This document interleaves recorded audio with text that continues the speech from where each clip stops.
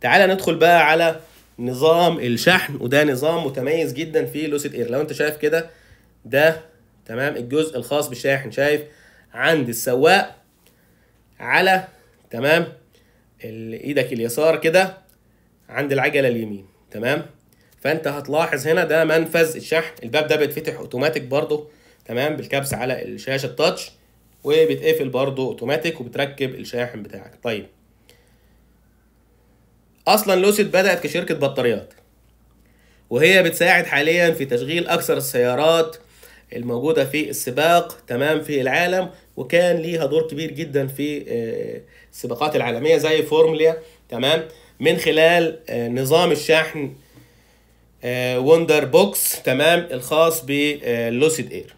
وبالتالي لوسيد متميزة جدا في موضوع الشحن. زي ما قلنا ممكن تديلك ربع ساعة ربع ساعة يديلك 400 كيلو متر تقريبا.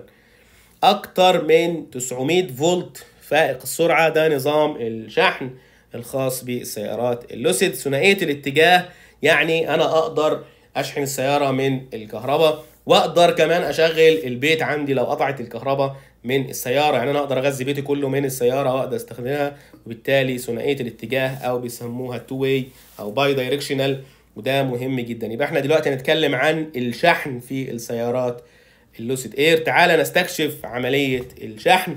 بتكون عملية الشحن من خلال الشواحن الخاصة بلوسيد نفسها. تمام؟ عشان أتأكد من آه، جودة الشحن وجودة الاتصال بين شاحن لوسيد والسيارة اللوسيد إير بتاعتي. أنا هنا بشوف أهو شوف الشاحن. وأدي ال connector بتاعي أو التوصيلة واصلة لشحن السيارة أو منفذ الشحن. طبعا الشاحن ده اللي هو Wunderbox ده بيصنع المعجزات لأنه شاحن تمام سيارة لوسيد اير مدمج تمام شاحن ببطاريات رائعة بكل المقاييس.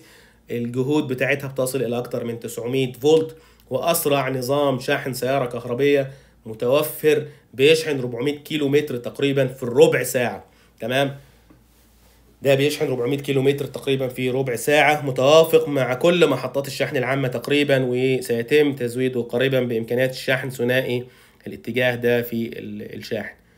آه Wunderbox تمام هيبقى متوفر في جميع محطات الشحن العامة تمام.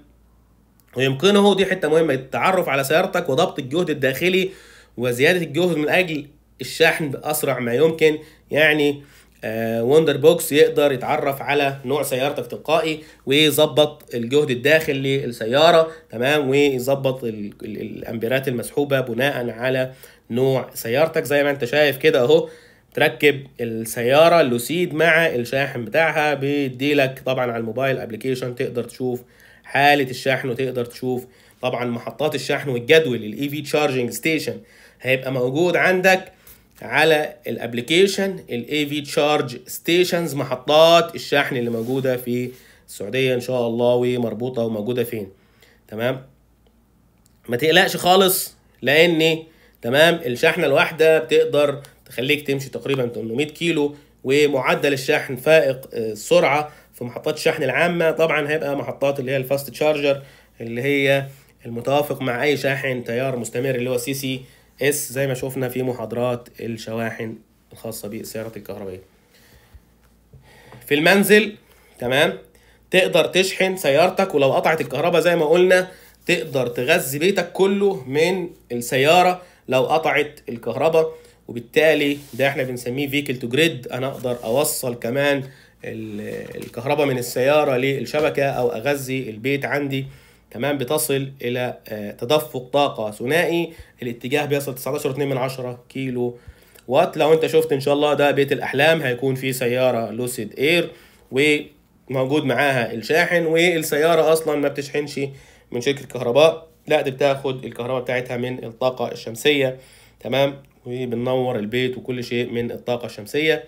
طبعا آه، بيبقى كل شيء موضح. طريقة الشحن والشحن بيتم إزاي من خلال الموبايل ابلكيشن لو أنت شايف أهو لوسيد إير بيدي لك شحنة كام تمام؟ والشحنة دي تمشيك كام كيلو وهكذا حسب التطبيق وده بيوضحه عن طريق توضيح طريقة الشحن تمام؟